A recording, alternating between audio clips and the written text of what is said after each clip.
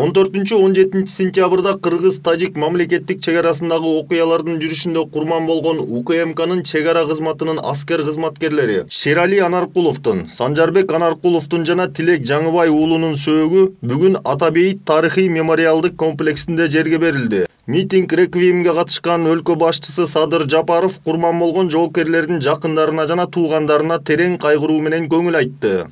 Элимдин жеримдин бейпилдигине жооптуу болгон менин да жүрөгүм тилинип канап турат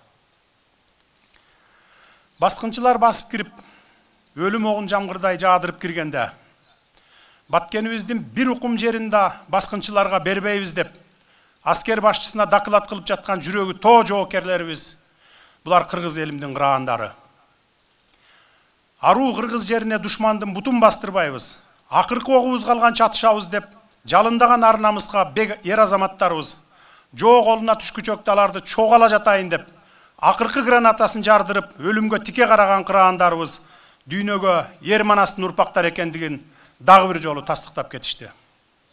Өз сөзүмдө ал ушундай эр жүрөк уулдарды тарбиялап өстүргөн ата энелерге башымды ийип таазим кылам баатырларыбыздын эрдиги эч качан унутулбайт жана алардын ысымдары эгемендүү кыргызстандын тарыхында алтын тамгалар менен жазылып калат деп баса белгиледи кыраан манас атабыздын урпактары ата журттун топурагын көркөөлөргө тепселетпейбиз деп баткен жерине оор техникалар менен бастырып кирген баскынчыларга татыктуу жооп кайтарды тикесинен тик туруп аскери техникаларынын таш талканын чыгарып жергебизден артка кууп чыгышты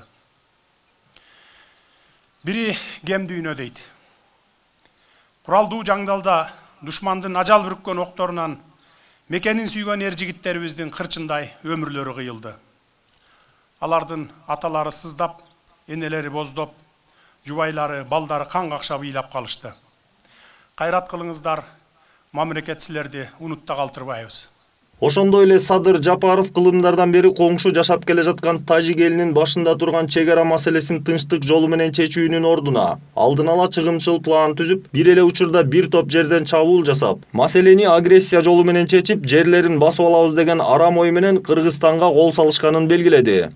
Бул күндөрдө жалпы кыргызстандыктар алыс жакында жүргөн мекендештерибиз баарыбыз баткен жергесине болгон куралдуу кол салуунун агрессиянын натыйжасында алтымыш эки жараныбыздын өмүрү кыйылганына сай сөөгүбүз сыздап турган убагыбыз.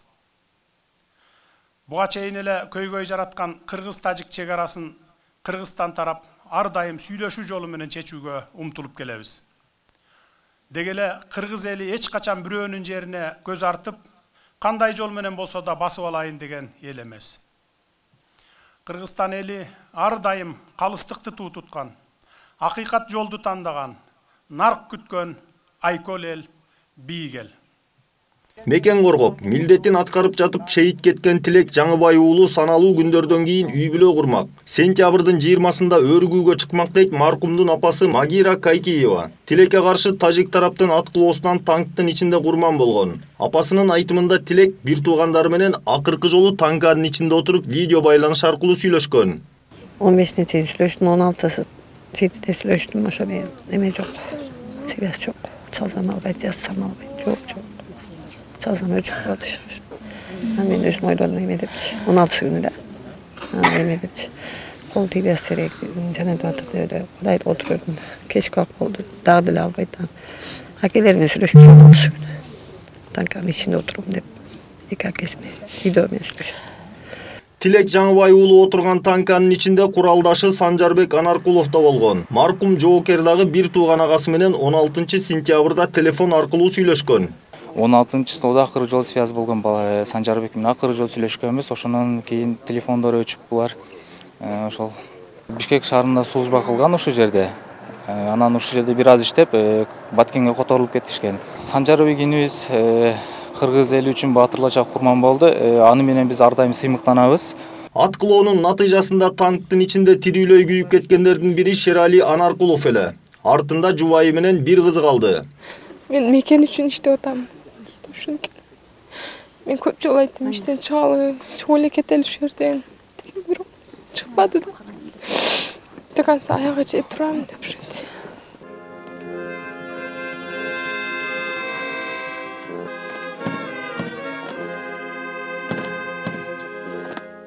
Митинг реквиемдин соңунда президент Садыр Жапаров ата бейитке баткен чегин коргоп жатып курман болгон баатырларга арналган эстелик тургузулаарын айтып, ага жоокерлердин баардыгынын ысымдары жазылаарын кошумчалады.